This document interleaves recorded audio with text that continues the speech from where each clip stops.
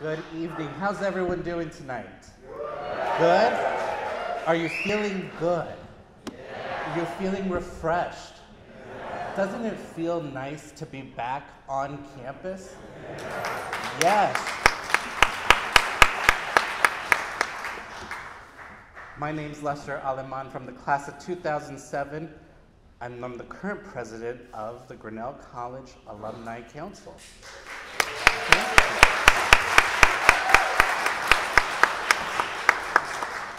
It is my honor to welcome each and every one of you to the 142nd Annual Alumni Assembly.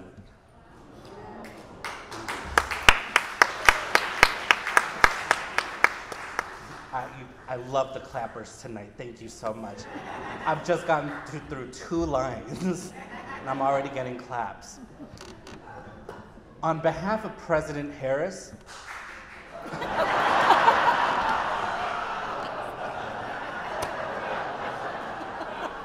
okay, so she's the one you really came to see, right? Okay, I'll try to hurry this up. On behalf of President Harris, the Grinnell College Board of Trustees, the college's administration, the students, faculty, and the hardworking staff, I want to thank each of you for joining us this weekend. It's been a very long two years, and it feels so good to be back together here in the prairie that we call Grinnell.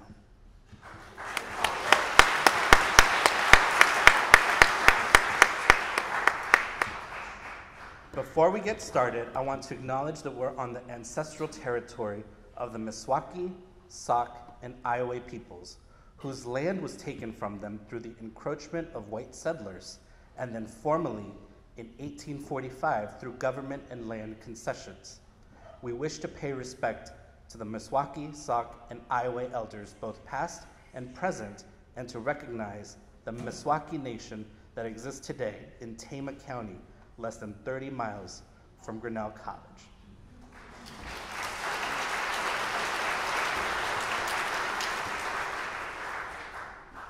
Okay, it's really wonderful to see so many of us gathered in here today in Herrick Chapel on this wonderful Iowa afternoon. The weather's so beautiful, right? It's so the view the universe wants us to be here together.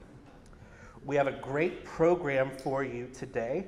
My fellow alumni council members will be present with me, um, and they're going to present this year's alumni awards, which is exciting. Uh, and President Anne Harris will give her remarks about the state of the college. Before we continue our program this afternoon, I'd like to share a few statistics about the impressive group gathered here this weekend. We have over 852 alumni here for reunion. Impressive.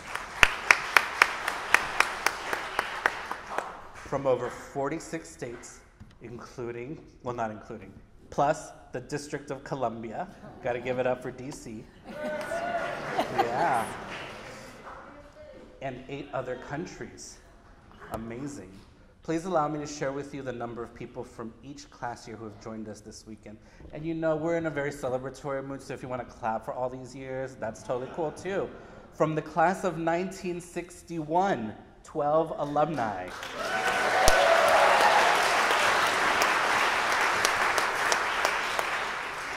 From the class of 1962, 27 alumni.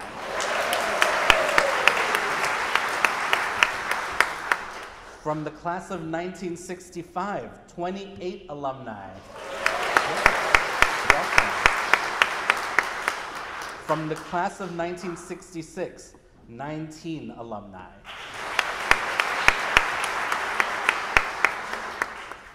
From the class of 1970, 52 alumni.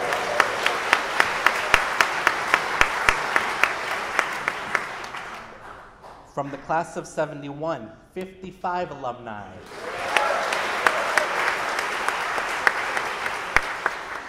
Celebrating their 50th reunion class, the class of 1972, 66 alumni.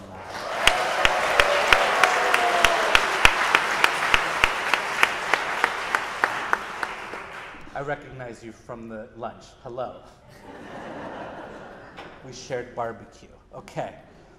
From 1975, 19 alumni. From 1976, 35 alumni. From 1977, 20 alumni. From 1986, 44 alumni.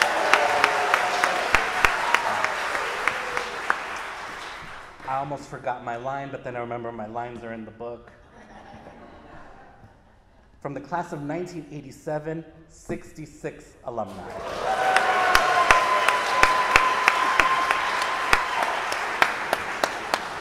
Class of 88, 47 alumni.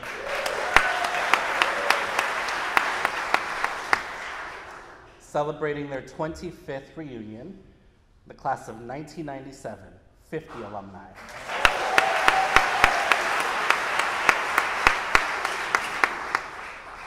From the class of 2000, the millennials.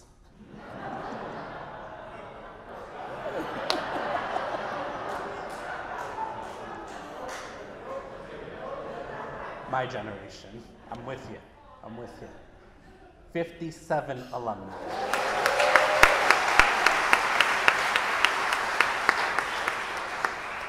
From the class of 2001, setting a record this year, 89 alumni.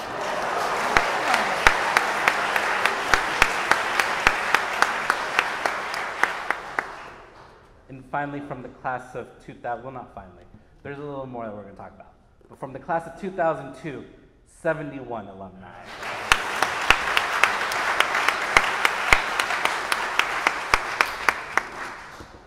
We're also thrilled to have 95 alumni here from other reunion classes.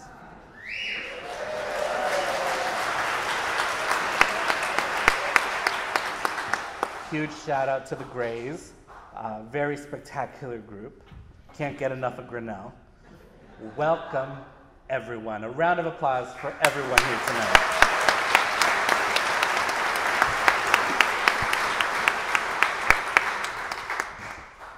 You want some more numbers? Yeah, we like numbers at Grinnell, right? We like good numbers. someone said yes. Clearly, someone from the Board of Trustees said yes. we always like good numbers. Uh, we want to thank the more than 7,300 donors who have supported Grinnell College so far this year with gifts and pledges totaling over 32.9 million.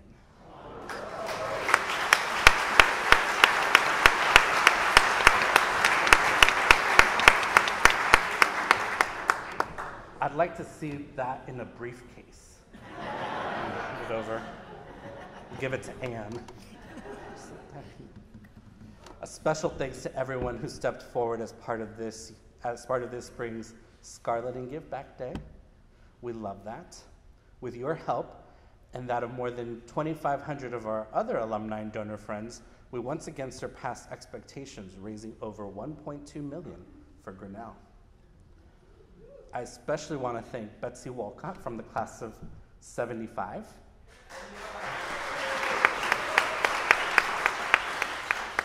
Tommy Airday from the class of 95.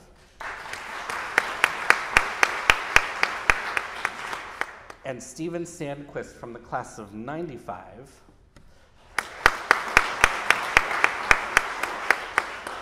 For leading the way through their inspiring challenge to the college community. Thank you. But as you all know, and Give Back Day was just one day out of the whole year. And as I'm sure you'll not be surprised to learn, your classes have given generously throughout the entire year. Collectively, your classes raised over $6.7 million for Grinnell this year, including several amazing new class funds. The class of 1997 Endowed Scholarship Fund and the class of 1972 Endowed Internship Fund.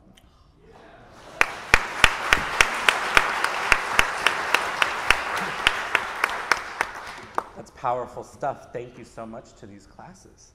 Speaking of new funds, our 50th reunion classes this year have demonstrated incredible leadership for the college over the last three years. With leadership from one of my favorites, one of my, one of my favorite people ever, my good friend Chris Meyer, class of 70, right over there. With the good leadership from Chris, the class of 1970 raised an incredible 2.5 million for their class gift with 42% participation from their class.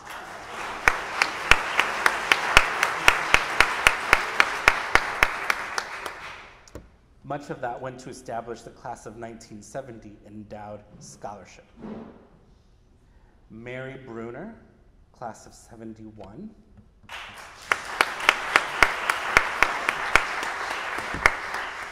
And Ann Taylor Schwaller, class of 71 as well.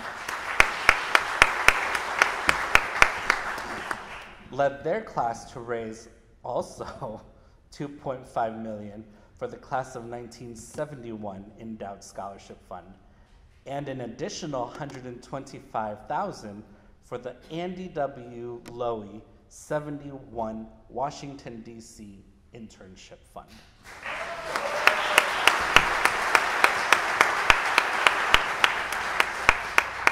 They achieved nearly a 50% class participation in the 50th reunion year fundraising efforts. Way to go. And this year, with leadership from Mike Daly, class of 72, the class of 1972 committed to creating a new internship fund for students through the Center for Careers, Life, and Service, and have already raised over 1.2 million for this fund and other areas of campus.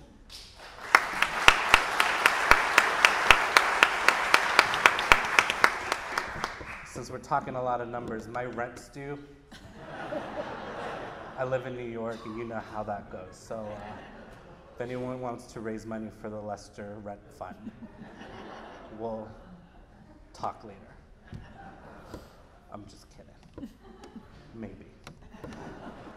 The college, talented students, faculty, staff, and generous alumni recognize the 50th class for their lifelong commitment to Grinnell College and changing students' views of themselves and their place as alumni. On behalf of all Grinnellians, join me in thanking the classes of 1970, 71, and 72 for their extraordinary leadership.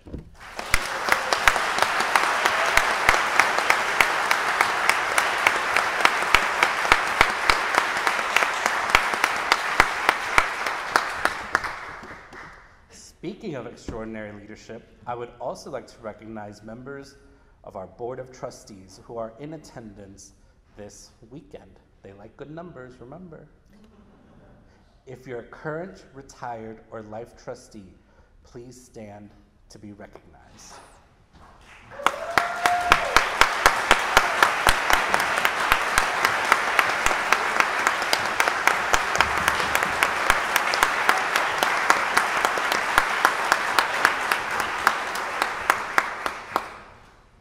Thank you so much for your enduring leadership to our alma mater. Nine, oh, 160 individual class volunteers worked with the Alumni Office to plan over 100 presentations and activities during this weekend. Though a full list of reunion committee members can be found in your weekend schedule, I'd like to invite all reunion committee members to please stand.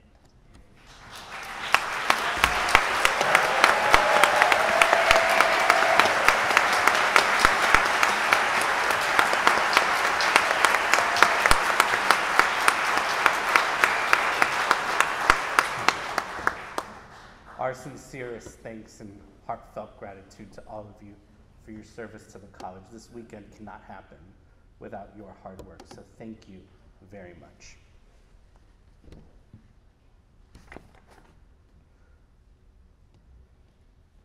Another form of volunteer service to the college is the Alumni Council, whose purpose is to foster strong connections between alumni and Grinnell. A full list of current council members can be found in the reunion weekend schedule. I'd like to invite all current and emeritus council members to stand and be recognized.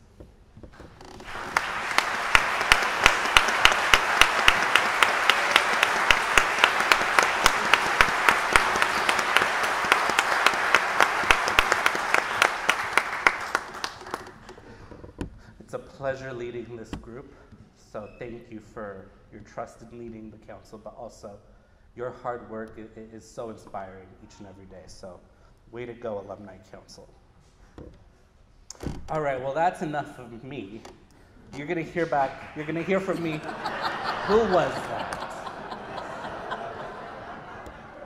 19, class of 19, it was one of those millennials.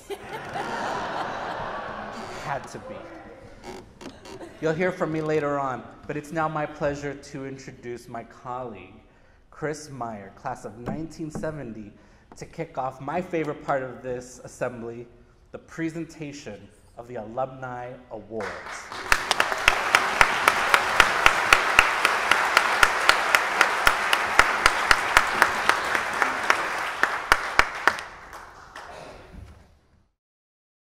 Good afternoon, everyone. I am the immediate past president of Grinnell's Alumni Council. Regrettably, my council tenure of six years will end with the conclusion of this assembly. That service has been my honor and privilege, and I will be deeply saddened when my term ends. As we move further into this celebration, I am happy to have the opportunity to announce the winner of the beautiful quilt that you saw on display at the registration desk. This lovely piece of art was quilted by my dear friends Nancy Sco- Ackerman Schofield and Mary Bruner, both class of 1971, in honor of their love for Grinnell and in honor of, and on the occasion of their 50th reunion. Sadly, we lost Nancy to cancer last October. This was her last project. So this is especially meaningful to her classmates, friends, and husband Ken, class of 71. Ken is here this weekend to share this quilt with one of you while also raising additional funds for the class of 1971 Endowed Scholarship Fund. So, drum roll please.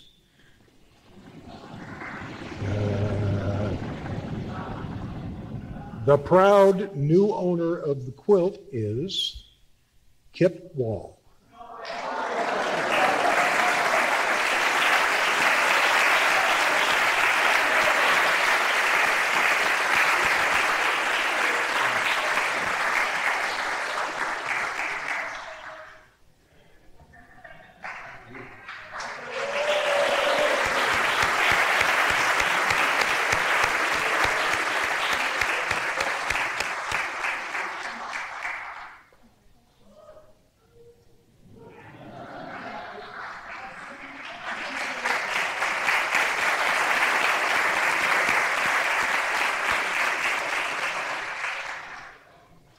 It is now my pleasure to share more with you about the 2022 Alumni Awards. Each year, two graduating seniors are selected to receive alumni awards from the Alumni Council. Two weeks ago, at baccalaureate during commencement weekend, my council colleague, Becky Reitz Neal, class of 65, had the pleasure of presenting awards on behalf of the Alumni Council to two graduating seniors, Lynn Tang and Maya Larson, both graduates who embody the very best of the Grinnell experience. However, as we all know, the Grinnell experience does not end at commencement. And today, we will present awards to 13 alumni who demonstrate just that. These alumni have distinguished themselves in their careers and in their service to their communities and to Grinnell College. The selection of these award recipients is one activity that the Alumni Council takes very seriously and devotes a great deal of attention. I would like to recognize and thank the members of this year's Alumni Awards Selection Committee. Tom Triplett, 69, Claudia Beckwith, 77, Kate Goddard, 91, and Jake Joseph, 2011. I would also like to specially thank my council colleague, Ryan Haynes Chung, 93, for her willingness to step in and chair the college, uh, step in and chair the selection committee last year when medical challenges prevented me from doing that.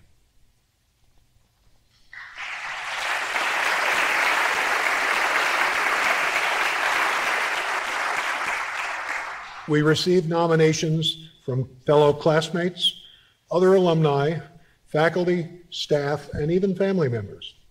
Each nomination is carefully considered.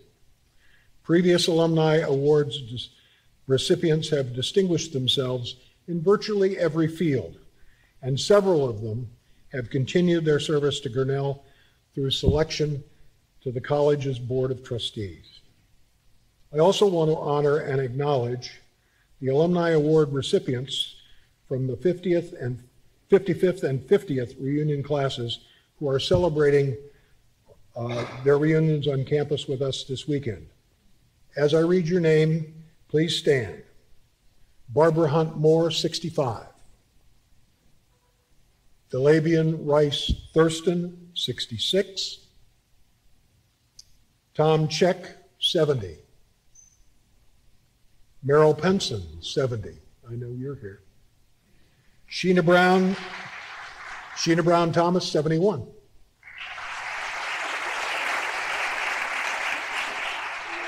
And Francis Gray, 71.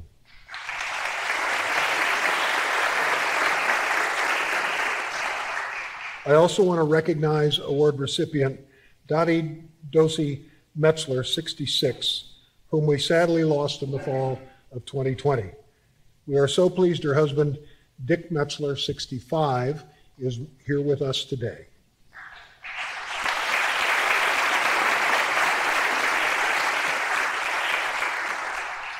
And if you missed our virtual alumni assembly event last year, you can still find it on the online reunion archives.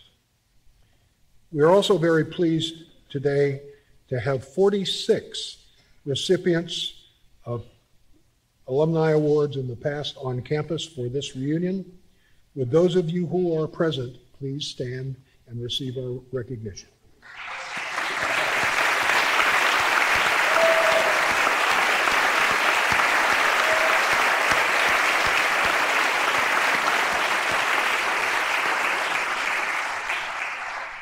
At this time, Alumni Council members will read citations for our 2022 Alumni Award recipients. Award recipients should come forward to receive their certificates after their name is called. To kick us off, I'm delighted to invite one of our Emeriti Council members and past Council President, Nancy Schmolbach Malley, 61, to come forward.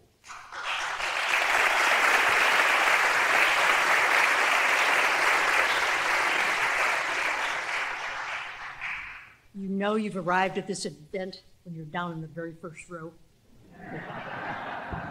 and we are this year. Our first award recipient is a staunch advocate for diversity and inclusion and the development of minority and women businesses. Stationed in Peru with the U.S. Peace Corps, this alumnus met Senator Robert F. Kennedy, who recruited him to be a staffer at the Bedford Stuyvesant Restoration Corporation in Brooklyn.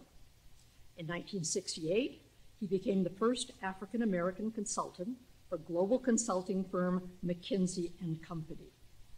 And he immediately began the internal campaign to actively recruit additional minority associates confronting organizational resistance head on. Seven years later, our honoree formed his own consulting firm, where he developed supplier diversity programs for the cities of Louisville, Atlanta, and Chicago, at several federal agencies and at private sector companies such as AT&T, Burger King, and Toyota. In the wake of his work, these agencies and companies spent billions of dollars with underrepresented business owners and led to the significant amounts of capital flowing into inner city communities. As a senior partner and now senior advisor for the Boston Consulting Group, he led his firm's workforce diversity, ethic marketing, and minority business development consulting practice. This Grinnellian is the recipient of many iconic awards, including being elected to the inaugural class of the Minority Business Hall of Fame. As a longtime mentor to Grinnell students and young alums, this alum was the first African American elected to the college's Board of Trustees in 1969, and he became a life trustee in 1995 and was selected that same year to Grinnell's Athletic Hall of Fame. At Grinnell's 2008 commencement, he was awarded an honorary Doctor of Laws. We are pleased to honor Jim Lowry, class of 61, with the 2022 Grinnell College Alumni Award.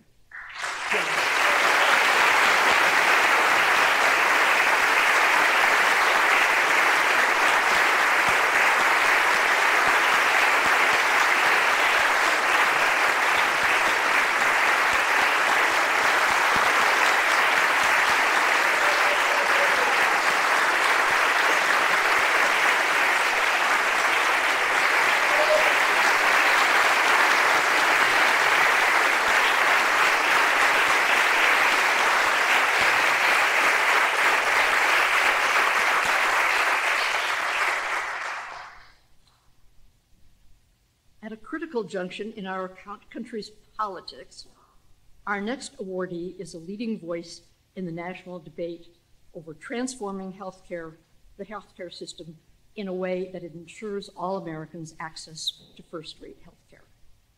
In 1974, this alumna moved to Concord, Massachusetts, where she was elected to the town's public housing authority and led expansion of the affordable housing. In the 1980s, she and her husband established the Families USA Foundation to advocate for progressive health reforms. She channeled foundation grants to grassroots organizations of low income seniors, people with disabilities, and home care workers to identify their health access problems and build power to negotiate policy solutions.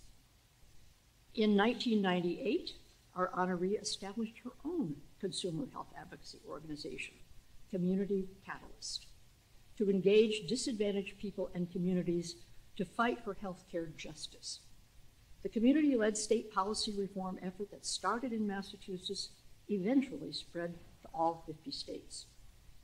This alumna and her staff have engaged with organizations to reform Medicaid policy, prescrip- prescription drug prices, and diversity in the healthcare workforce, just to name a few.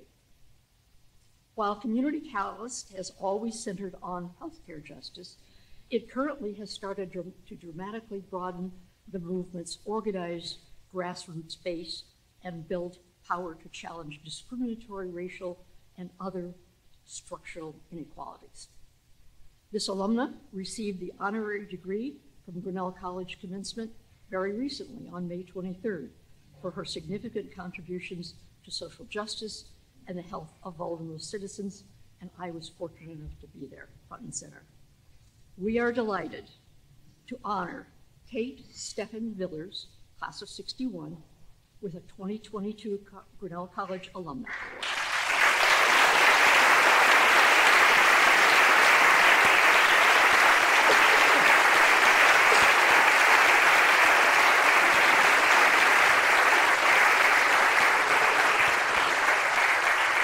Our next honoree from, from the 60th Reunion Cluster is a civil rights fighter, courageous public sector leader, and a catalyst for career success for many people.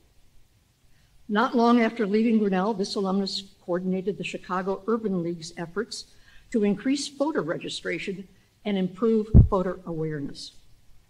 He later joined the U.S. Department of Justice, where he specialized in negotiation and mediation between government agencies, local authorities, and community activists. His next stop was the Ford Foundation in New York City. He spearheaded a multimillion dollar community development initiative aimed at providing jobs, housing, and improved quality of life in a number of targeted urban and rural communities. This awardee later headed the New York City's Department of Employment, leading the city's efforts in job training, employment, and business development. A tennis enthusiast, he brought the game to underrepresented youth in Harlem. This alumnus later trans- transitioned into banking and finance world. As managing director and head of JP Morgan's Urban Development Public Finance Group, our honoree oversaw taking the bank to South Africa following the demise of apartheid. He said his most cherished experiences there were being spent with in the company of Nelson Mandela, for whom he established the professional development program that helped black South Africans in banking, law, and related professions.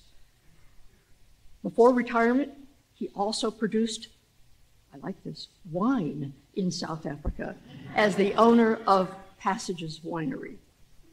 This alumnus also has given time, his time to mentor students, collaborate with faculty members and administrators throughout his dedicated service on the Grinnell College Board of Trustees. He joined the board in 1987, became a life trustee in 2002. And we are honored, thrilled to honor Ron Gault, class of 62, with a 2022 Grinnell College Alumni Award.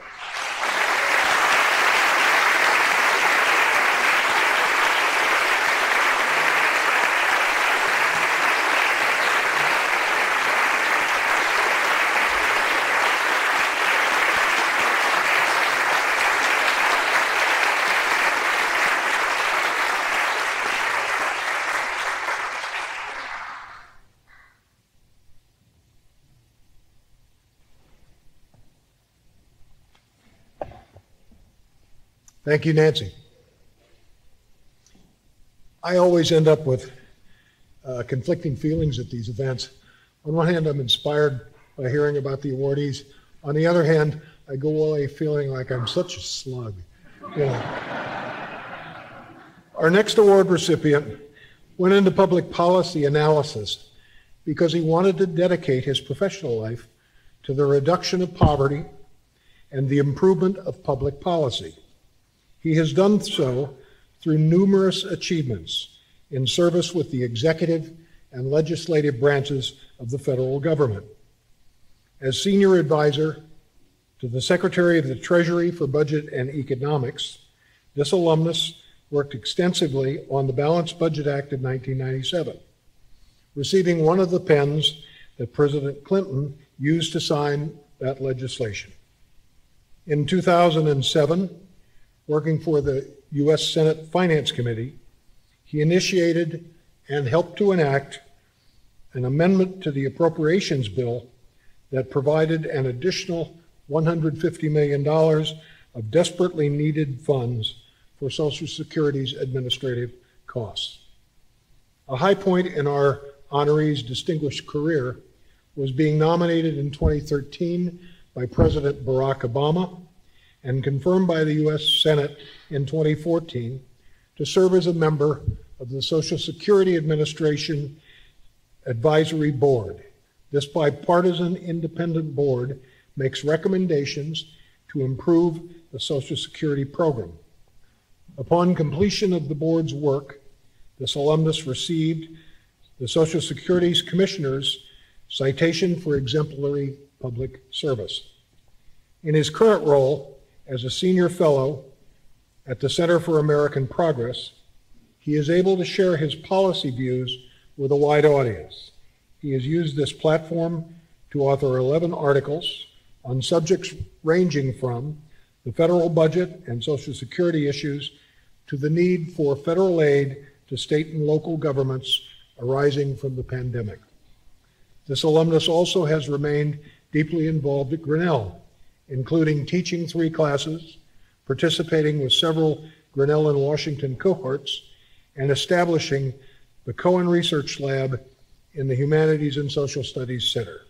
Please join me in congratulating Alan Cohen, 72, for receiving an Alumni College Award.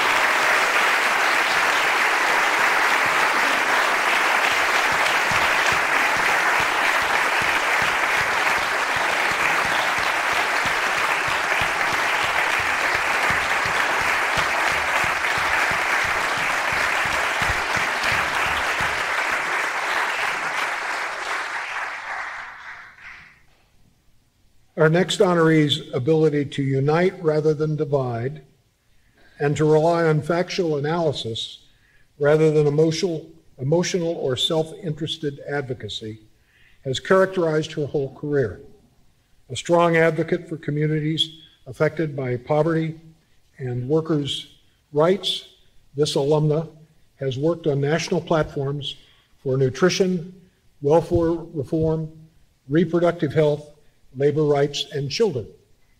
Early in her career, as project director for the Children's Foundation, our award recipient developed advocacy and policy strategy for two federally funded nutrition programs. In the 1980s, she was deputy director for Advocates for Youth, where she promoted innovative strategies to prevent teen pregnancy, including school-based health clinics and lifting network, network television bans on contraceptive advertising. In 1988, the Center for Law and Social Policy, a national anti-poverty nonprofit, hired this alumna to create a way for state welfare advocates to share news and lessons from the field. The resulting Family Matters newsletter served as a model for her subsequent efforts to create and nurture powerful national networks. In the past, workplace flexibility and work-life conversations typically ignored the challenges of low-income workers. This Grinnellian brought fresh insights and analysis that staked out the necessity for solutions aimed at all workers. She was also one of the early national leaders focused on promoting paid sick days and family leave legislation. For her dedication to social justice, and being a voice for the voiceless, this alumna received an honorary Doctor of Laws at the 2009 Grinnell College commencement. We are pleased to honor Jodie Levin-Epstein, 72, with a 2022 Grinnell College Alumni Award.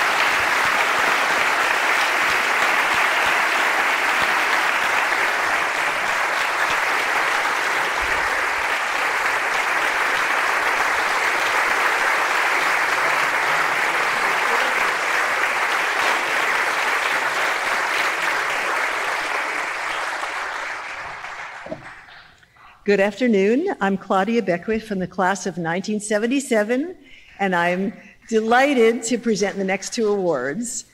The next award recipient recognized that for our small town college to successfully recruit students, faculty, staff, and their trailing spouses, the city of Grinnell's downtown needed to bustle with shops, services, restaurants, and housing. He got the ball rolling by purchasing and renovating buildings in the central business district and helped the college expand its footprint there. This alumnus has devoted his career to successful multifamily housing production. He spent 35 years developing, renovating, and owning 30,000 units of market rate and government assisted housing apartment communities in the Washington, D.C. and its close in suburbs, such as Arlington, Alexandria, and Bethesda.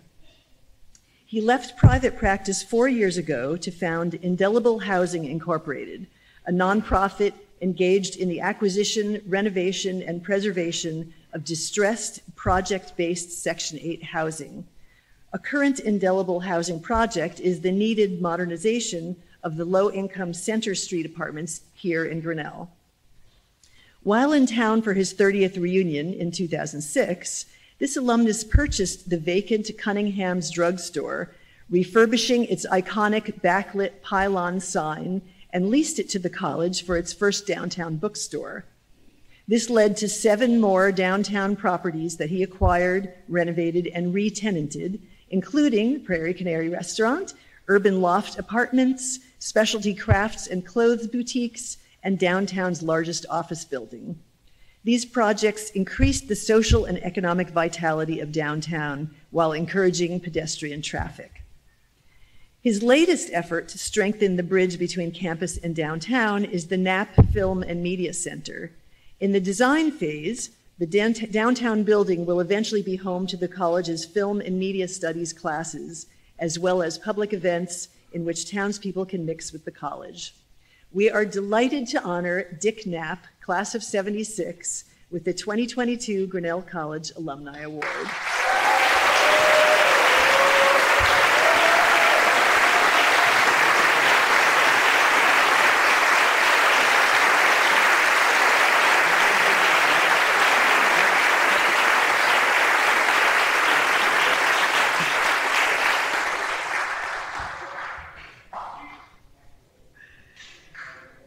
Our next honoree's enthusiastic devotion for Grinnell College has manifested in volunteering innumerable hours to her alma mater.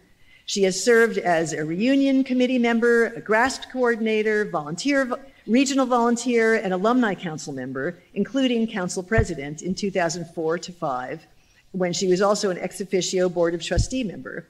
Additionally, this alum has been a speaker in the Alumni in the Classroom and Wilson Center programs. After graduating from Grinnell, this award recipient was the first coach of the Grinnell College women's cross country and track and field teams. She was known for her positive, compassionate, and inclusive leadership.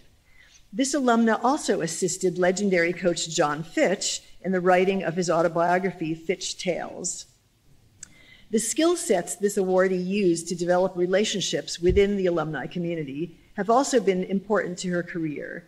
As owner of her own production company, her marketing and publicity experience includes such wide ranging fields as pro sports, entertainment, commercial real estate, and government relations. She has promoted music events and toured with magician David Copperfield, coordinating promotion and logistics.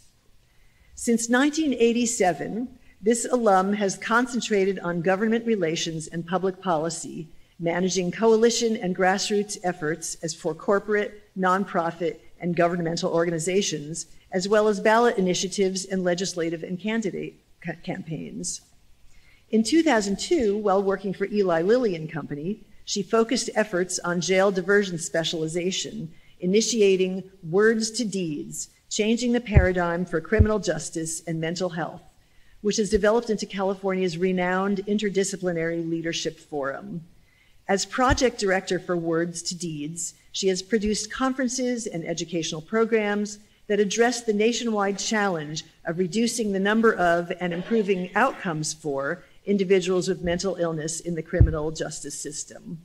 We are thrilled to honor Kit Wall, class of 77, with the 2022 Grinnell College Alumni Award.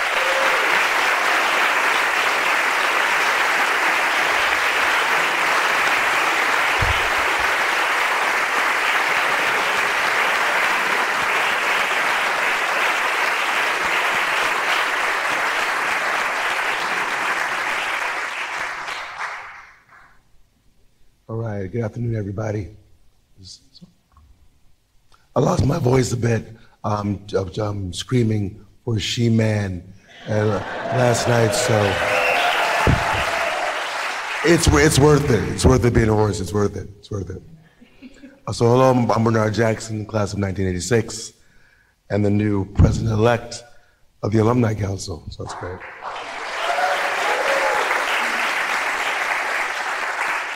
I'm so glad that we're all together this weekend, and I hope you're having a wonderful time. It's my pleasure to present the next two awards. A consistent and persistent champion of all things Grinnell, this award recipient has created invaluable bonds within the wider Grinnell community and strengthened pride in the college. Our awardee's comprehensive involvement began when she was a student and she was a tour guide, I remember. She chaired the commencement committee and was co-chair of the concerts committee and the Grinnell Relays, which I, which I miss. As an alumna, she has been a class agent, alumni member, GRASP volunteer, and reunion committee member. A natural organizer, she energizes, excuse me, alumni through class letters and social media. Her invitations are always open to all. One classmate said that those, and I quote, who are not typically joiners find themselves caught up in the alumnus' excitement about connections and Grinnell, end quote. This alumna first worked on Capitol Hill before finding her way to public television WETA. Over the course of 20 years, she has worked in six different jobs in five different departments, mostly in live television as a production manager, then managing the station's website. For the last 16 years, she's been working toward retirement while farming with her husband in Idaho. She was actively involved in the Washington, D.C. sesquicentennial celebrations, and upon moving to Idaho, this alumna founded a new Grinnellians and created the Grinnell in Idaho Facebook group. only you, Becky, only you. I love it. Before the pandemic, she partook in many Grinnell and Boise lunch gatherings. Recognizing the benefits of broadening the 1986 network, our honoree invited members from other classes to join in groups she established. She has been one of the main reasons why the mid 1980 classes have such a strong presence at reunions. And also, we just like to party. In fact, this alumna has been to 15 reunions herself, including every one held since 2010 as part of the Gray Movement.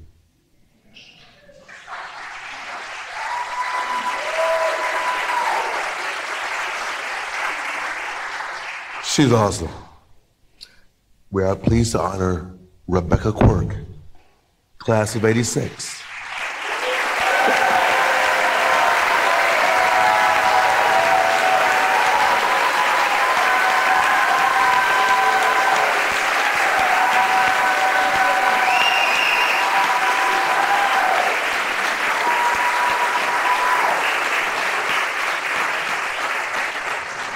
With the 2002 Grinnell Alumni Award, Rebecca could not be here today, but we know she's tuning in via live stream.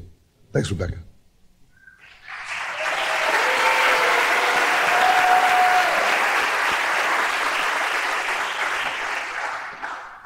The next Alumni Award recipient has asked hard questions of college leadership and fellow alumni and use social media to communicate the outcome of those conversations with the broader alumni community.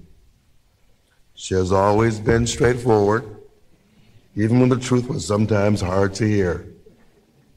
Her goal has always been to help students and make Grinnell better. She's an attorney with nearly 30 years of experience, having run her own practice for the majority of that time. Some of the areas in which she has practiced include healthcare, real estate, collections, and family law. For several years, she served on the Cook County Judicial Evaluation Committee as part of the Illinois State Bar Association. And she has served as a representative for children and vulnerable adults in domestic relations and probate proceedings. She is a mother of two sons, one of which, Logan Stewart, is a 2019 Grinnell graduate.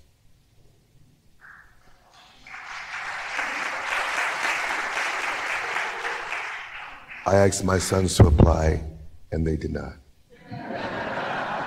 Logan, Logan, Logan's a better kid. As a black Grinnell student in the 1980s, this alumna endured challenges and lack of support. She knew that many black alums from that decade had checked out of Grinnell completely. And she felt that she had a perspective that needed to be shared. With that in mind, our awardee served on the Alumni Council.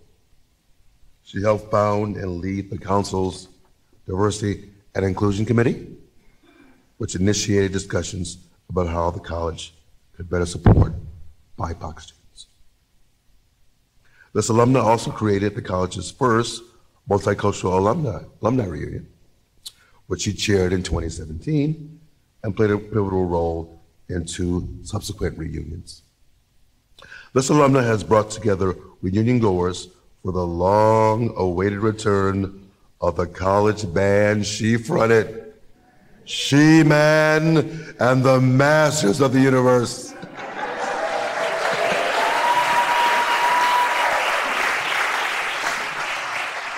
In 2012, 2017, and just last night, 2022. And thus, my hoarseness. we are delighted to honor Rhonda Stewart. Class of 1986 for the 2002 Grinnell Alumni Award.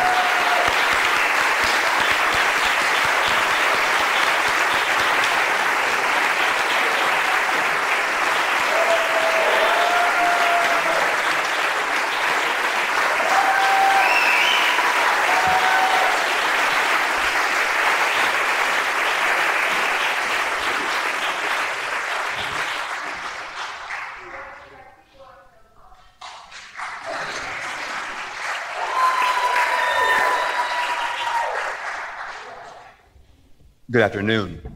I'm Anton Jones, class of 2002, and as a first year member of the council, it's such a pleasure to present the next two awards.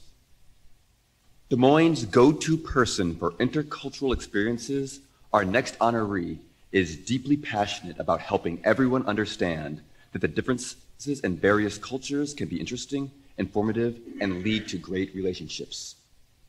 This alumna is executive director of CultureALL a dramatically different approach to diversity training and inclusion efforts.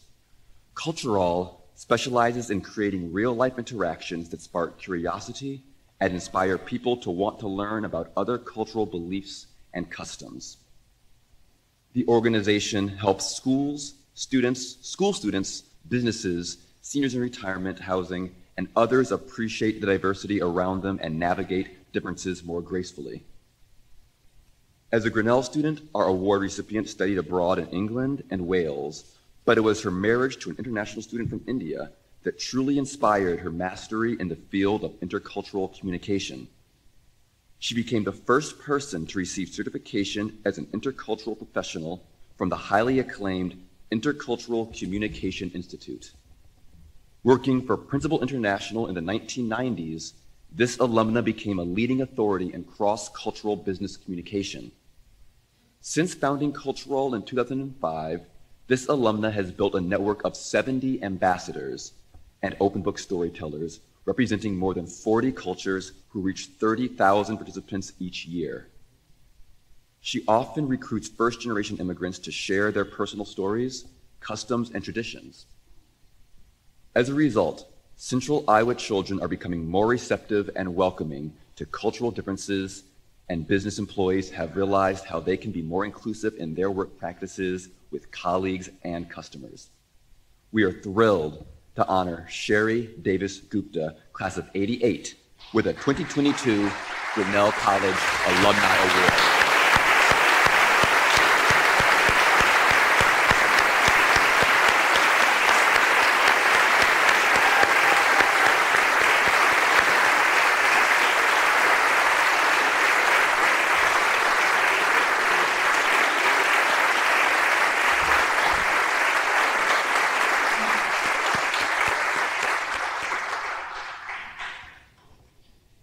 If you've been enjoying the delightful photos accompanying today's Alumni Awards presentation, you can thank our next award recipient. This alumna was serving on the Alumni Council in 2010 when the group, suggest, the group was discussing ways to liven up Alumni Assembly. She suggested projecting photos of the award recipients throughout their lives to make the experience more meaningful both for the awardee and the audience. Little did she realize there would be pictures of her on display 12 years later. The photo edition is just one of many ideas and endeavors our honoree has come up with to support her alma mater. As a student, she coordinated Grinnell's first ever bone marrow donor drive. As an alumna, she served as a class agent, reunion committee member, GRASP regional coordinator, and was alumni council president in 2010 to 11. Since 2008, This awardee has also been the Grinnell and the Twin Cities Regional Network Coordinator, where she has hosted 126 alumni events.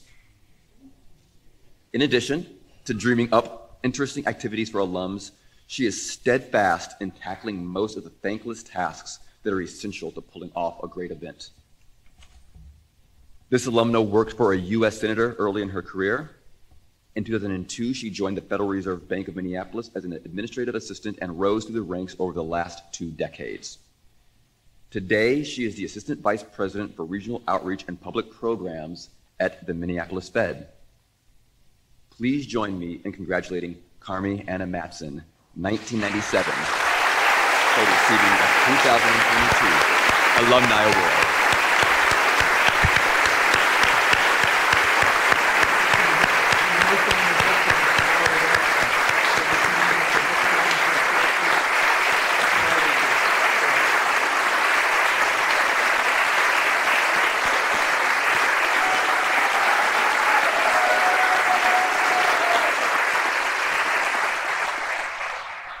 Hello, I'm Philip Hales of the class of 2002, and I'm thrilled to present our next two awards. Known for blurring the lines of hip hop, jazz, folk, and poetry with cutting edge improvisations and collaborations, our next honoree has been on stage or on records with Bell Hooks, The Last Poets, DJ, DJ Kool Herc, the father of hip hop, and many more artists. A DJ, MC, beatboxer, educator, and wedding officiant, this alumnus is oft known by his former pen name, Rabbi Darkside. You can find him releasing music, performing, and teaching under his given name nowadays. He's created inclusive spaces on five continents, through music at concerts, on dance floors, and in classrooms. Our honoree began his career teaching middle school social studies and English at a New York City public school. He later developed a rap based test prep curriculum called Fresh Prep while journeying in arts education. In 2007, this alumnus co founded the Hip Hop Re-Education Project, a community based arts organization that uses hip hop culture to educate marginalized and systematically underserved young people. He's also the CEO of Say Word Entertainment, a collection of artists, producers, educators, and agents of change dedicated to creating and supporting authentic hip hop culture globally through music. Speaking of globally, the US State Department in 2015 sent this alumnus to Uganda to serve as a next level cultural ambassador. Using the pillars of conflict resolution, social justice, and entrepreneurship, he facilitated a three week DJ workshop. He's entering his eighth year teaching seminars of his own design at the New School University in New York, where he's also the faculty advisor to the New School Hip Hop Collective student group. He returned to his alma mater in 2018 to teach a short course, The Cipher Paradigm Hip Hop Education, pra- Praxis, Action. We're pleased to honor Samuel Sellers 2000 with the 2022 Grinnell College Alumni Award.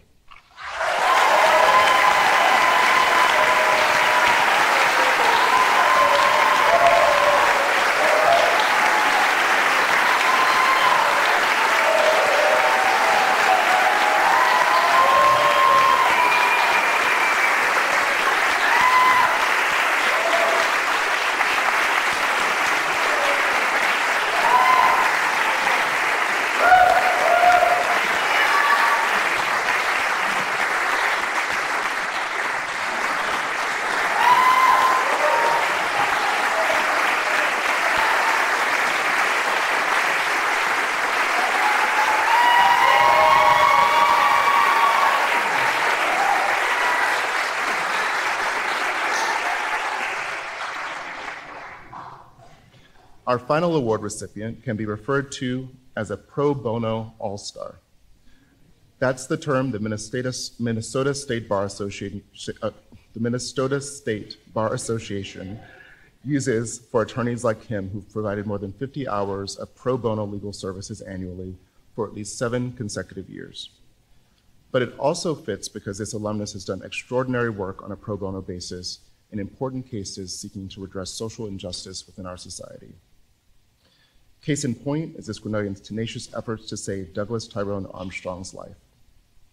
Over the course of a 15 year long representation of his client, This alumnus volunteered his time to travel to rural South Texas to conduct a hands-on investigation, which yielded evidence that contributed to the Texas Court of Criminal Appeals decision to overturn Armstrong's death sentence.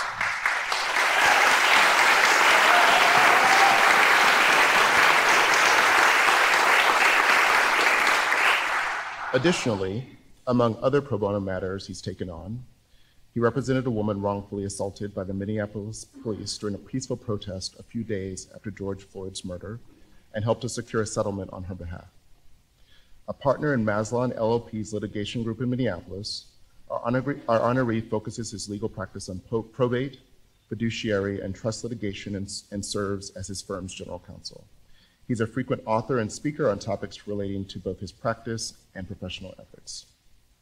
This alumnus also is committed to diversifying the legal profession and encouraging disadvantaged students to seek or at least consider a career in law. Through Maslon's Uplift Legal Institute for Teens, he serves not only as a board member for the organization, but as a volunteer mock trial coach for middle school students at Columbia Academy, a school where many students come from an economically disadvantaged background. We're delighted to honor Julian Zebot, class of 2000, with a 2002 Grinnell College Alumni Award.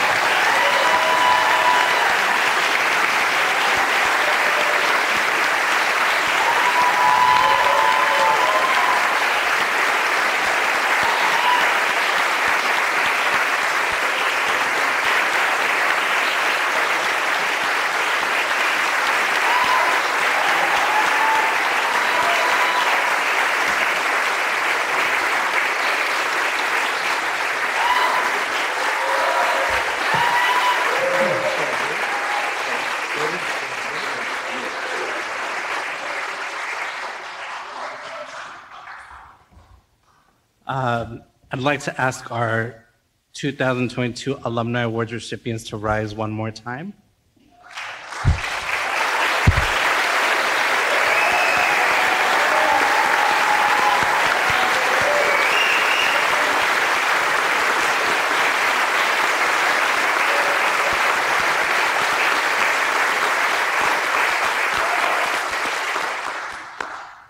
Congratulations. It's now my honor to introduce our keynote speaker, President Anne Harris. Completing her second year at the college in this role, President Harris assumed the college's presidency in the early stages of COVID 19 spread. Her compassionate and decisive actions in leading the college's response to the pandemic quickly elevated her growing reputation as a trusted and admired member of the Grinnell College community. Since her appointment, she has demonstrated remarkable leadership in championing academic excellence, diversity and inclusion, and community engagement. And now, she's so excited to meet the alumni of our college as she's genuinely interested in how we, as alumni, can help to shape the college's future. Today, she will share her reflections on the year past, her vision for the year ahead, and how all of you, our most committed Grinnellians, can continue to be part of the future of our alma mater. It's my great pleasure to introduce the 14th president of Grinnell College, Anne F. Harris.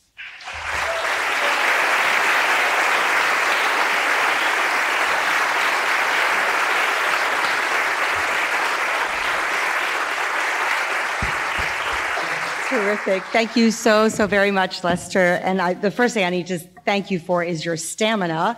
Um, Herrick Chapel is known for many things. Comfortable seating is not one of them. So if you need to take a stretch in the interest of wellness and uh, sustainability, please feel free to do so.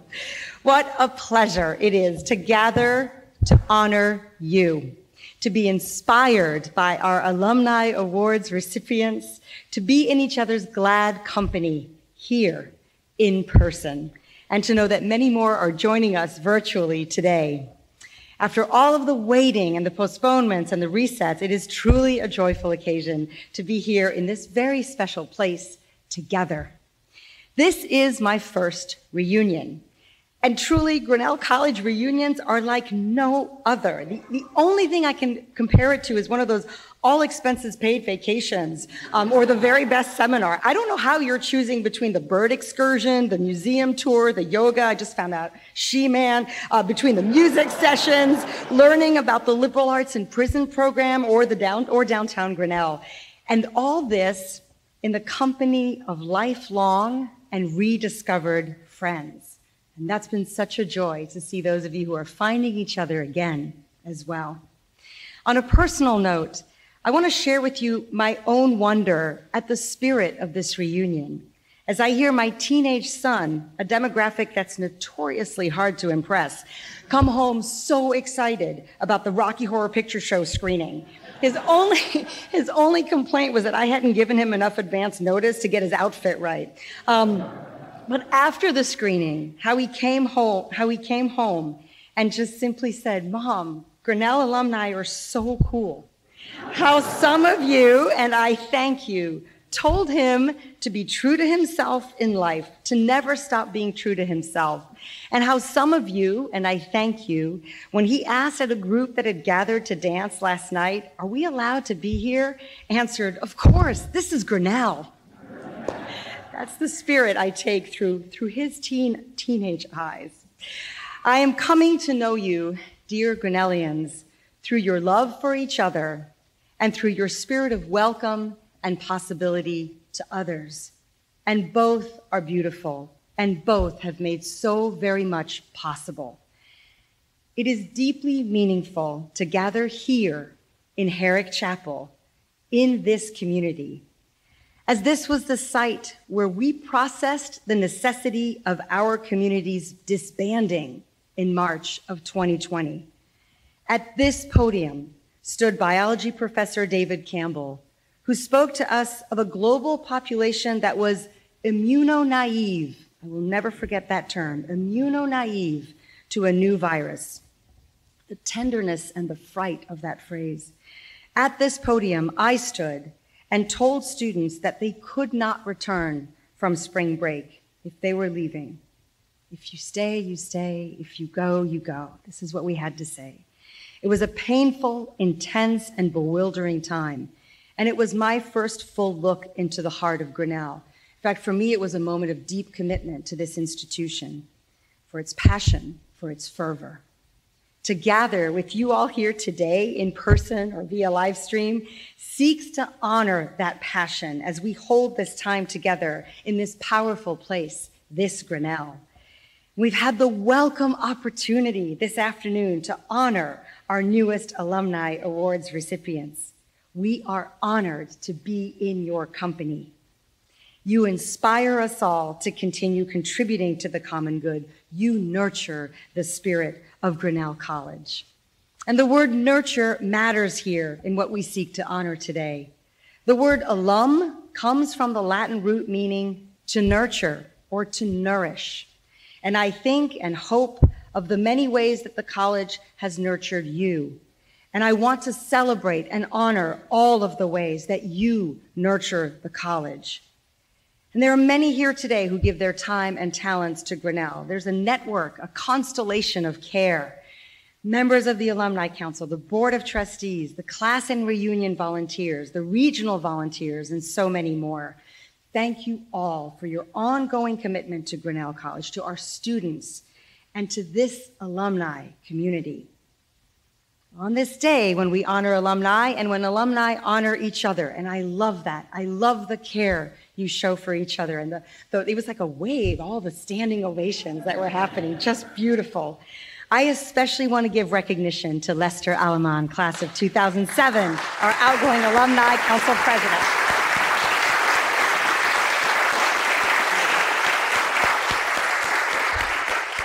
So this is that awkward part when I'm talking to him, but I'm facing you. So thank you, Lester, for your years of leadership, your deep care for people, your dedication to Grinnell and our alumni around the world, and your transformative work in the sector of higher education.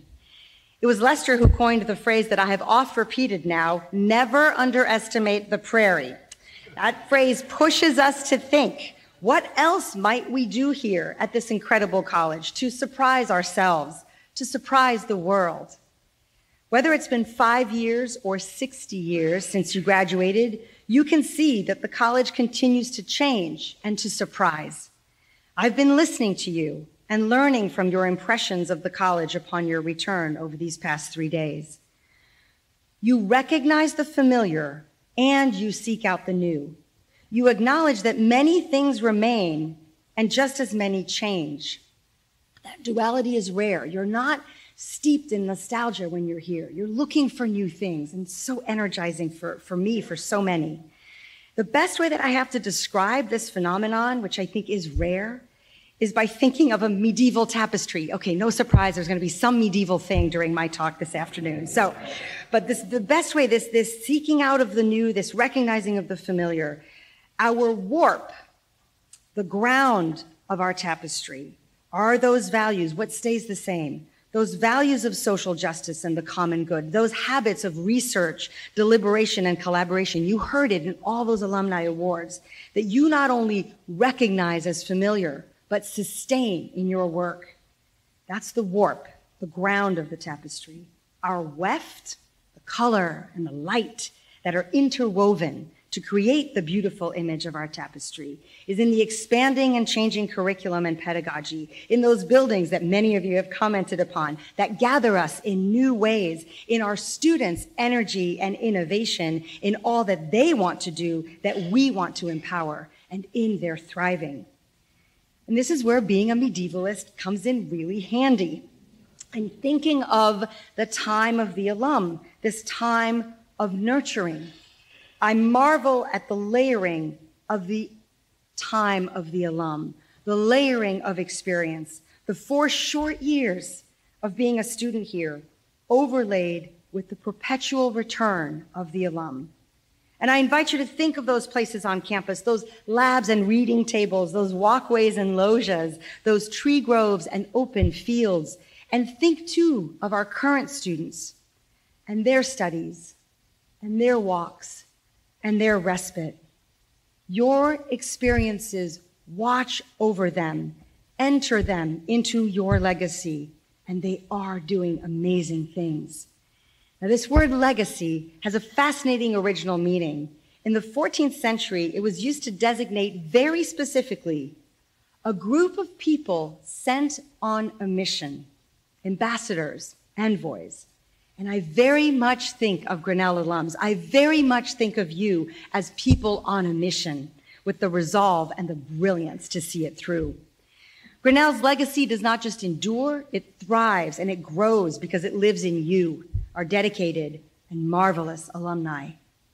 It is a legacy nurtured through your connections with Grinnell and with each other and your commitment to continuing to shape our community. This is why I say critique is care. You wouldn't criticize and critique the institution if you didn't want us to be better. And we want to be better too. That's the partnership, and I'll be coming back to that. Grinnellians like you have always been thoughtful vocal, and active participants in society. Again, I reference you to our Alumni Award recipients, willing to show up and speak out and working to change the world for the better. I recognize and I celebrate these traits in you and in today's students as well. This is our legacy and our future, the collective work of all the generations of Grinnellians, past, present, and future. It is a legacy we cherish and work to uphold. Now, an alumni assembly is a powerful time. When I saw the title for this, I thought, okay, alumni assembly, one in which we celebrate legacy, and also one in which we claim stewardship for the experiences and possibilities of Grinnellians to come. I see this time as one in which to strengthen our resolve together. And here they are, the members of the class of 2025 They've come to us from, this is just the class of 2025, 47 states and 31 countries. Altogether, all of our students, they come from 50 states and over 50 countries. And I'm going to find this out every fall. Currently, this year, there are 62 languages spoken at Grinnell College. About 90 of the students of, of, this class that just entered are from outside the United States, from countries including Brazil, China, India, Ghana, South Korea, Vietnam, Uzbekistan, and Japan. About 50 students are the first in their families to attend college. And to Lester's point earlier, these are numbers, but these are experiences embedded in those numbers. More than 120 members of this class are domestic students of color, representing almost 30% of the class. And more than 300 of our entering students, and there's, there's only about 450, were already involved in community service and social justice work before coming to Grinnell. When I welcomed this class, the class of 2025, to Grinnell in the fall of 2021, I quoted political theorist Danielle Allen, who in her book, Talking to Strangers Anxieties of Citizenship After Brown versus Board of Education, wrote that, quote, democracy depends on trustful talk between strangers, end quote. And I would claim that Grinnell College depends on trustful talk between strangers. And I thank each and every one of you for the many times that you opened or engaged in trustful talk at Grinnell and well beyond Grinnell. Dr. Allen's ideas are deeply formative of my own when I think of Grinnell College's impact in the world. Our fraught and wondrous world has made me focus on trust. Trust between individuals, between individuals and institutions, and between institutions. All within a vision for our college to be an agent of civic trust, moving knowledge into action for a more just and equitable society. And you do it. Those alumni award recipients inspire us to, do, to continue that work.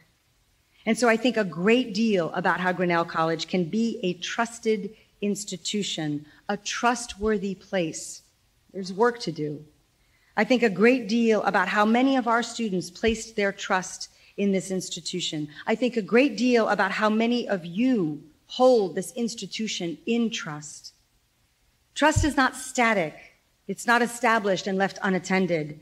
It is built up and nurtured and sustained. And it's experienced through belonging and thriving. And I want to thank you all, all of you, for all that you do to build up that trust, to make it possible for students to experience Grinnell, to belong at Grinnell, and to thrive at Grinnell. It takes time and talent and treasure, and there is always more work to do. But I take both comfort and pride in our partnership to push this college to always do better. Now, there's some developments at the college that I want you to know about so that you can feel that pride in your alma mater and in our partnership in sustaining these developments. With resolve and planning and building on all of the foundational work that's been done for decades, and with many thanks to the trustees who have championed the actions I'm about to describe and recognize their importance, Grinnell College last year was able to go further than being a need blind institution, which is already a rare feat in higher education.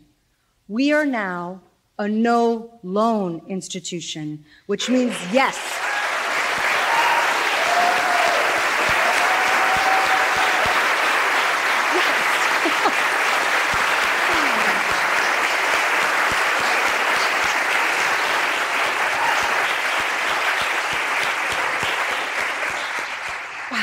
Thank you for Thank you for seeing it.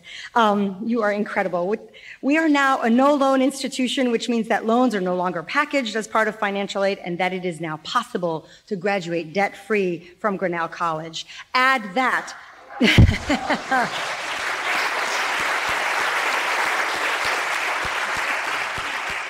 Add to that that we are also test optional and we are in rare company, dear Grinnellians. Only eight institutions of higher education are all three, and Grinnell is one of them.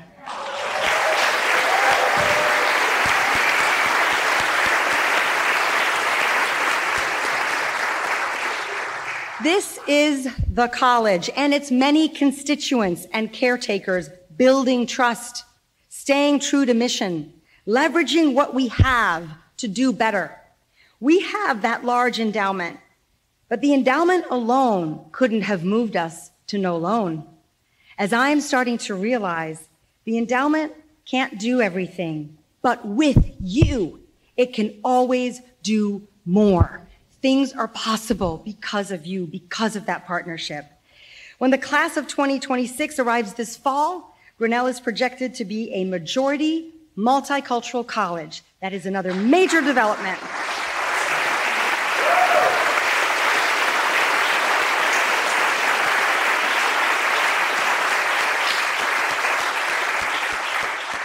Domestic white students will be in the minority, and we're proud to see Grinnell achieving its longstanding aspirations to be a global college with a national voice set in a rural community. There is continuous and worthwhile work that needs to be done to continue to build trust, to engender belonging, and to create those conditions of possibility. The Grinnell College Diversity and Inclusion Plan, introduced in 2017, exists now in a new format in which each vice president and administrative decision, division has identified one, two, and three year goals for a DEI action plan.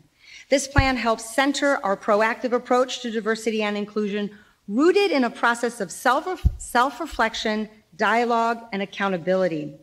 It affirms the values we hold as a community and creates accountability about our successes and shortcomings. The theme of accountability is, is important here because I that's what's going to build the trust. Last year, of many things, last year, we created the Office of Diversity, Equity, and Inclusion as an intentional step to raise the visibility of DEI work in all parts of Grinnell College. This office, which reports directly to me, has dedicated DEI professionals working with faculty, staff, and students throughout Grinnell to help our efforts to build an institution of effective and sustained equity with a focus on identity, spaces, and experiences.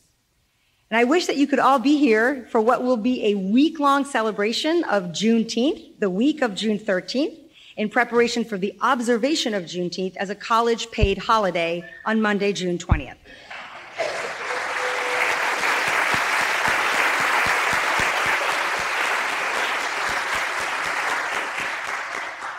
I want to acknowledge that one office, of course, no matter how dedicated, cannot do the work alone. And that's the whole point of the action plan. Each of us, and I say this in the room, each of us, individually and collectively, must take responsibility to examine and change systems, expand curricula, and create spaces that provide both affinity and community.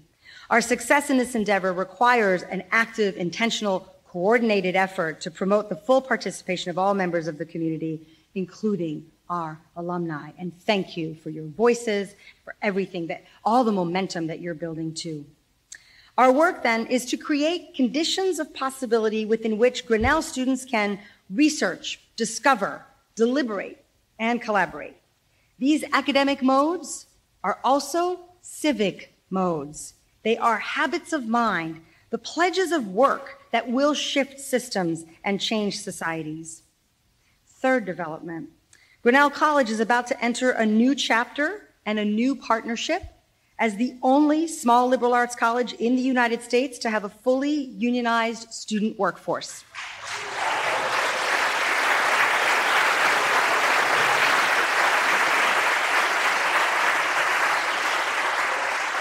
And and that's not just the class of 1970, 71, and 72 cheering. I, I heard a lot about, about some history there.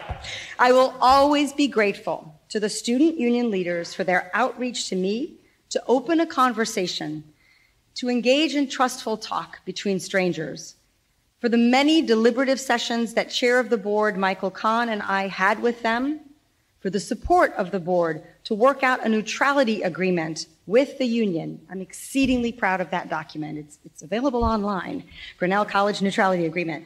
Um, for the support of the board to work out a neutrality agreement with the union, that, because we were able to achieve one, lays a strong foundation in a bargaining obligation section, section seven, for the collective bargaining to come. Now, there's no pretense that this will be easy work, but it will be worthwhile work engaged in a deliberative process built on and continuously needing to build trust.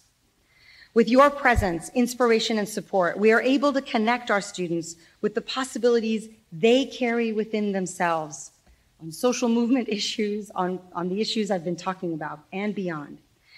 I want to mention just a few, and I'd characterize these as things to believe in, things to strive for, things that move knowledge into action for a more just and equitable society, starting at Grinnell.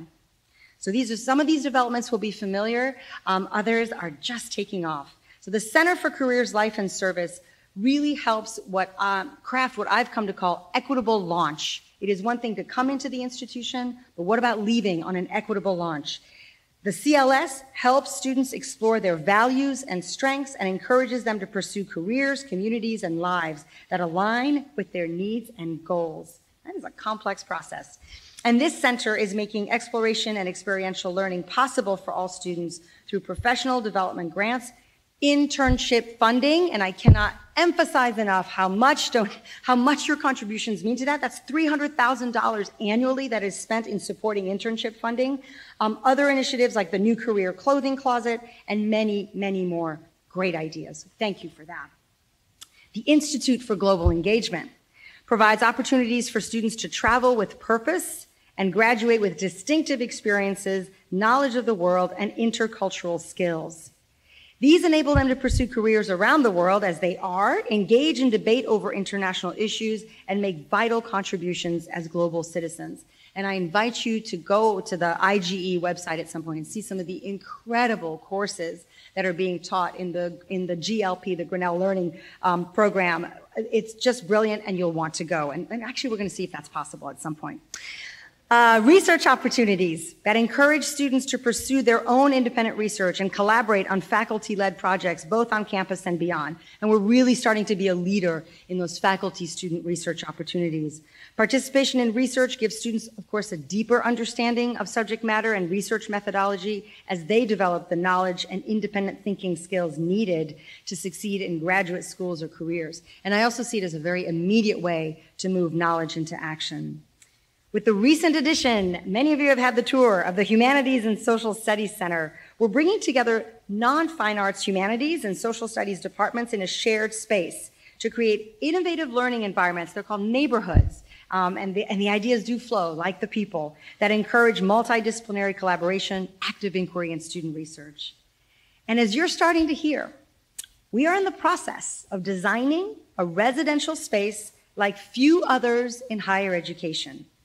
The Civic Engagement Quad, the CEQ, because it's Grinnell, we have to put initials. The CEQ will be built in downtown Grinnell at Broad and 6th as you, as you go by to be a student residence housing and hosting trustful talk between strangers, those conversations that seek to build understanding and connection and social change. From the economic vitality of having students downtown to the partnerships that students and community members can create to address the issues of our times. Um, and students have talked about talking about rural mental health, um, food scarcity, third grade literacy rates. That's actually a completed project with AmeriCorps. It is a way of building on and honoring the work that this college has done, that you have done, to engage your classroom and campus experiences with the communities around you, the communities that you shape. So stay tuned for much, much more on that.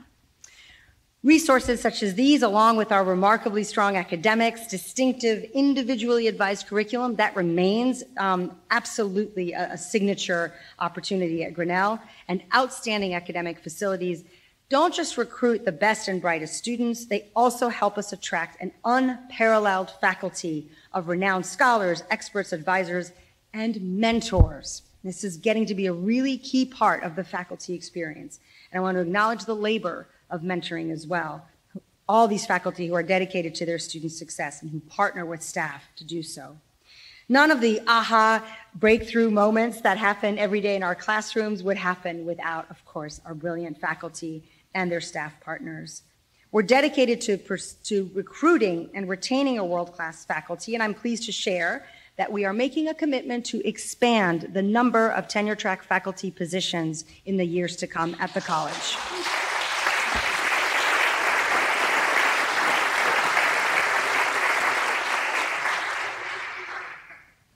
Shining light in the prairie. This effort will help us to enhance and expand curricular offerings.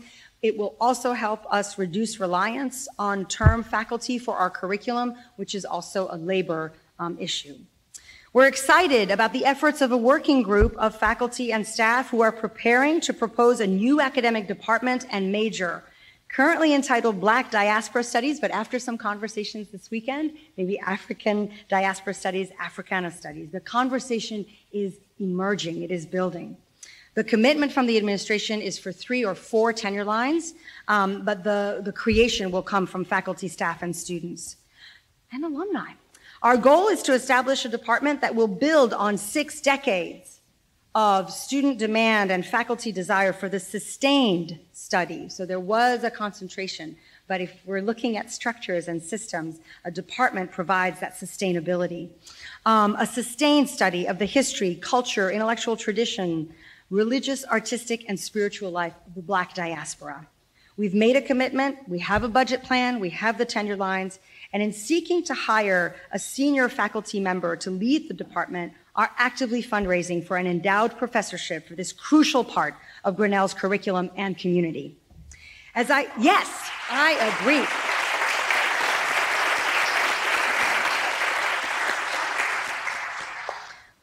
As I look ahead to next year, I'm excited about continuing our strategic planning work centered on the five strategic principles that I identified last year community, educational excellence and continuity, diversity, equity, and inclusion, health and well being, and financial sustainability. This endeavor is helping us collectively make decisions about the priorities and initiatives that will shape and define the college's direction as we seek to live out our mission and I emphasize the word collectively because we're using a collective impact model um, from the nonprofit world, which, of which we are a part. Um, and I'm really looking forward to, to doing that way, to feeling that, the power of the collective impact. We look forward this fall to engaging our entire community in ever broader engagement with strategic planning. That means you. There'll be opportunities for open discussions with alumni and families of Grinnell and further engagement with existing representative bodies. But one of the things I am most looking forward to in the coming academic year is the chance finally to travel to alumni enclaves across the country, the world maybe, and join in as many alumni activities as possible. I relish the opportunity to meet many more of you in person. This is the live stream wave, and to get to know more of you, um, get to know your stories and why Grinnell matters to you. I have learned so much in the past three days. I've used the phrase metaphorically that I'm filling my cup. I know there's hard work ahead. It was said to me when I came here, Anne, you'll have lots of challenges. People not caring is not one of them, and that is blissfully true. blissfully true. I want to know why Grinnell matters to you because I know that, that my knowledge of that, my connection of that here on campus will create the momentum and the change we always want to see for this college. So, I'm ending. It is my hope that as you consider what I've shared with you today, you'll keep in mind and take great pride in the following three main ideas. Access to a Grinnell education is stronger and more important than ever, and we are in partnership for that.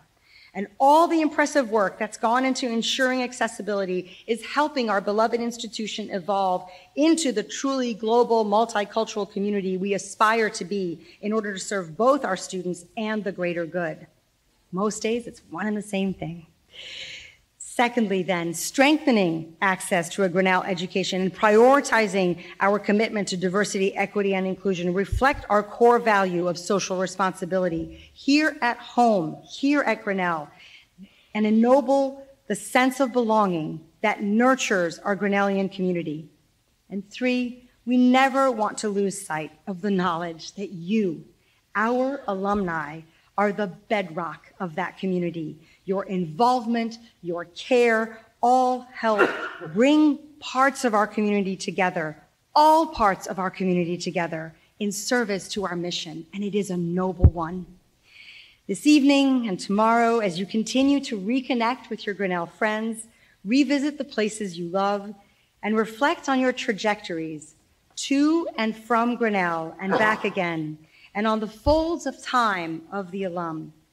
I urge you to consider how your past has helped to shape the present. And I ask you to think about how the present honors that past and how your actions today continue to provide hope for the future. It is a time warp, if I can use that phrase.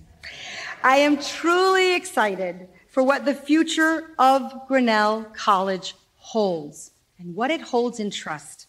And I am so deeply glad that you are here today to share in this excitement. Within the warp and weft of the emerging tapestry that is Grinnell, there has always been and will always be you, the committed alumni whose collective impact truly does change the world. Your presence here today is a testament to your dedication to the college, to future generations of Grinnellians, and to the creation of that better world. Thank you for nurturing your connections with Grinnell and for your support of future generations of students. The world, yes, needs more Grinnellians, and your support and generosity are making this possible. I thank you for your dedication, your hard work on behalf of this college, and I wish you the warmest of continuing welcomes and continuing returns on this reunion weekend. Indeed, go forth, Grinnellians, and have a safe and wonderful reunion. Thank you.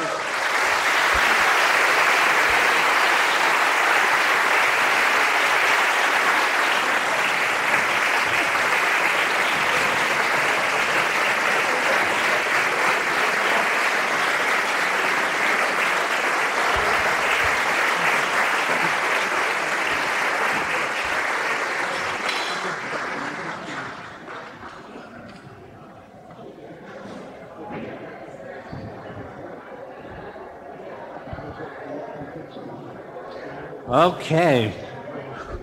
Who's ready for the official alumni response to the president's uh, uh, remark? I'm just kidding. I'm kidding. Thank you, President Anne Harris. Uh, we hope you're going to be here for a while. You're, you're an amazing and spectacular individual.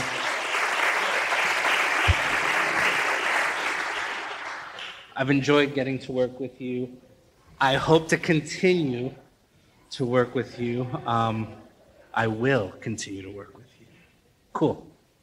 Uh, these remarks are not scripted, which is how I like them, I think. Um, and, and I just, I just want to reflect very quickly.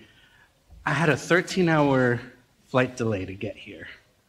I know, but I'm sure somebody out there had it worse at some point. Um, and there were times where I'm, I'm sitting in LaGuardia thinking to myself, do I call it quits? Do I text Jane and say, plan B, time to go to plan B? Um,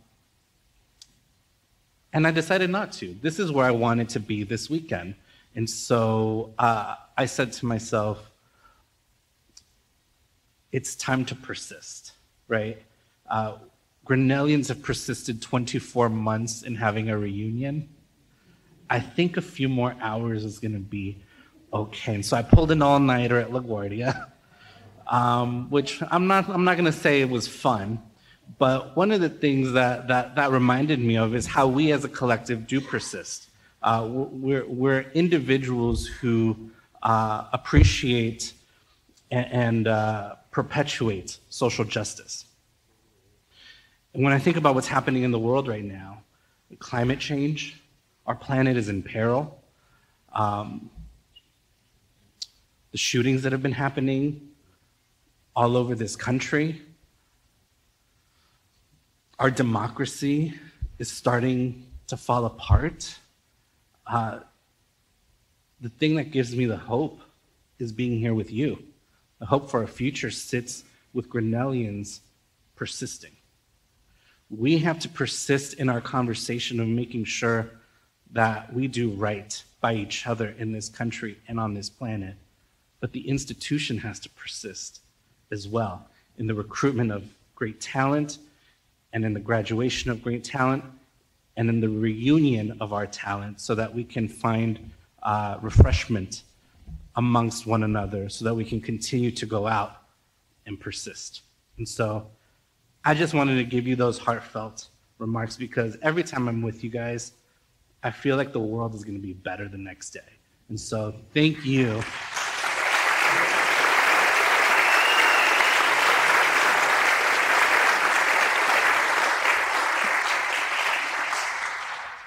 Thank you for being you and for allowing me to be here. And so this officially ends my presidency um, as your Alumni Council president.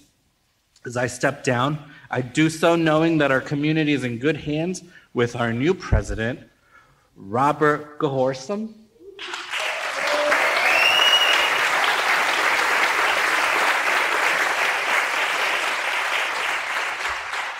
Class of 1976. Check this out. Robert's had an incredible career in the computer game, ed tech, and digital media industry, more recently moving into consulting and advising a variety of startups. He's also co author of a new book on climate change, good job, called The Carbon Almanac, being published by Penguin on July 12th, and I understand it's available for pre order. Um, and the publisher happens to also be Grinnellian Adrian Zackheim, class of 73. He's long been an active and engaged volunteer with the college's Donald and Winifred Wilson Center for Entrepreneurship and Leadership and actively mentors students more than any alum I know. We are fortunate to benefit from his experience and passion. Thank you, Robert for continuing to contribute and for serving in this important role. Please help me welcome Robert Gehorsam as your new president of Alumni Council.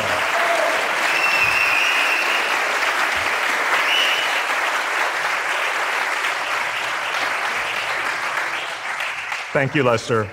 Just a few short paragraphs between us and dinner. It's really been an honor and a privilege. I know we use that phrase a lot, and it's thoroughly heartfelt to be able to continue and expand upon your work, and also yours, Chris, in the year before. Um, you know, earlier in the talk, uh, Lester spoke uh, about the generosity of, of Grinnellians in the past year, and I think we've all touched on what a remarkable year it's been uh, philanthropically. Um, now, I, would like to talk about another aspect of our alumni community, um, and one that's really central to the mission of uh, the mysterious alumni council. Um, and that is engagement, a term we use a lot, and I'd like to, to talk uh, just briefly about that. You know, and of course it means fostering sort of the, the connections and engagement between us, and reunion is the, the epitome of that, um, which is, is terrific. And in recent years, um, I think we've all noticed that there's much more connection between the years, between the generations among alumni, and that is a really unique and very important uh, dynamic and phenomenon uh, that will really benefit Grinnell uh, going forward. And it obviously means um, fostering engagement between alumni and the institution in all sorts of other ways, and we've heard uh, about many of those stories. And I, I think we realize that, you know, we're really fortunate, given the state of higher education in general, that we're really flourishing more than ever, especially under your leadership, President Harris. And I think given the headwinds that are in uh, American society right now, we're a really necessary institution. Um, and so.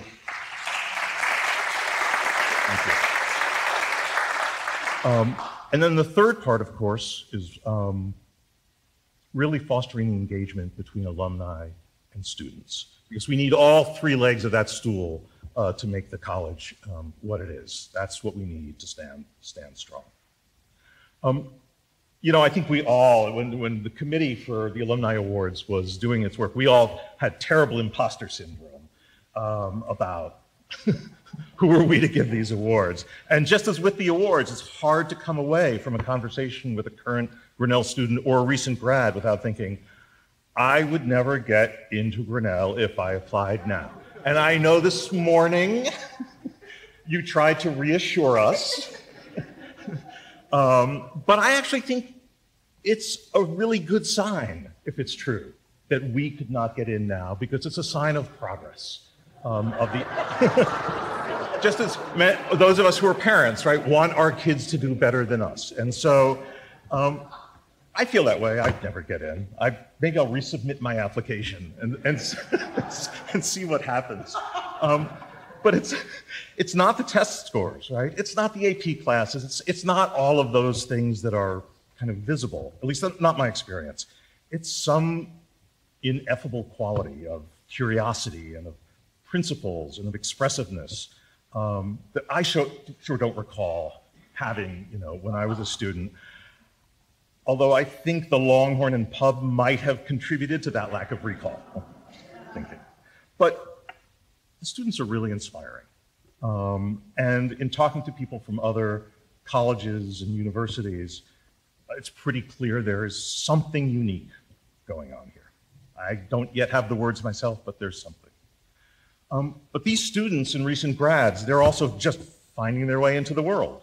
And so one of the very best things we can do as alumni is to find all sorts of ways to support them as mentors, advisors, listeners, connectors, whatever it takes.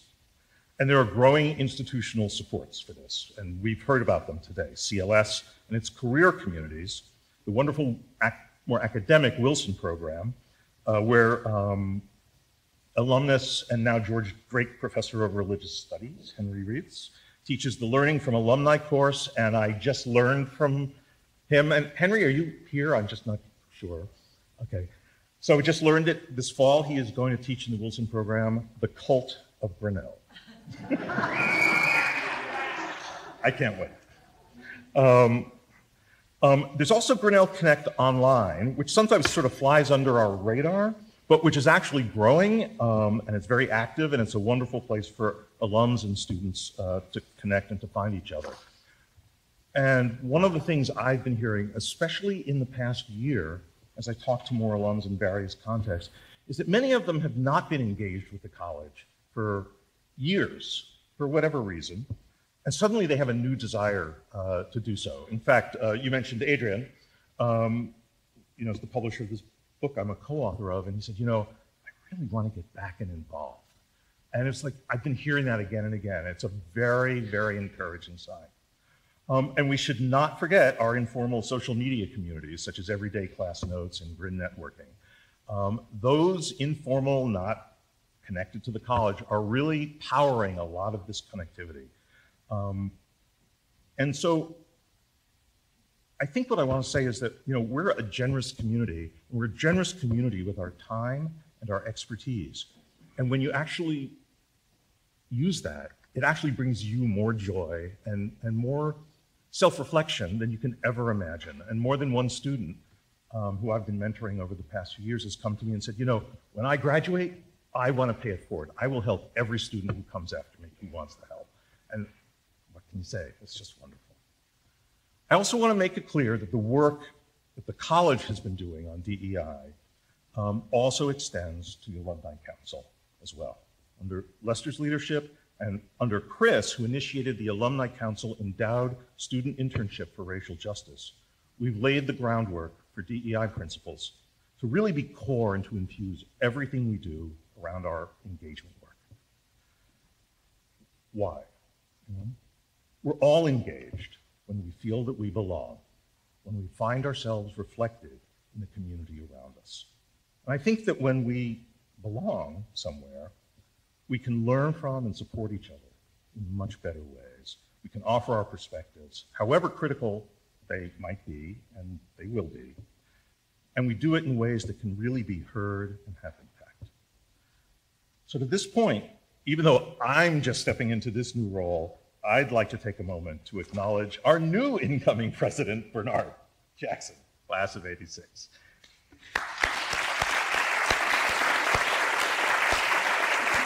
You don't have to come up and talk, but I do want to say that last year, Bernard established and led our internal Alumni Council reading group, which had a, a focus on DEI issues. And it was really hard work um, uh, to really read and discuss and and for many of us to sort of be vulnerable about a lot of ideas uh, that were new. And it brought us all closer together. And I'm really looking forward to continuing in the coming year.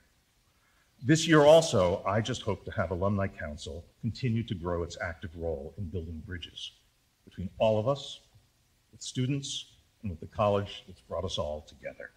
So I hope you'll all continue in the effort too. Thank you.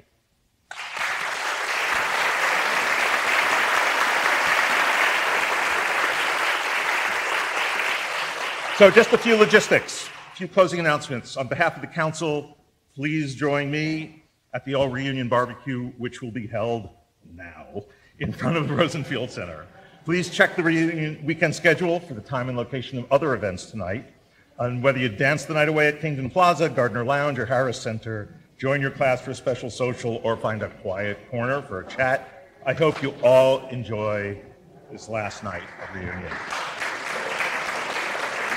If you park your cars across from Loose Hall in the Lutheran Church, move them before you go to bed tonight because there's a service tomorrow morning. And now, let's eat.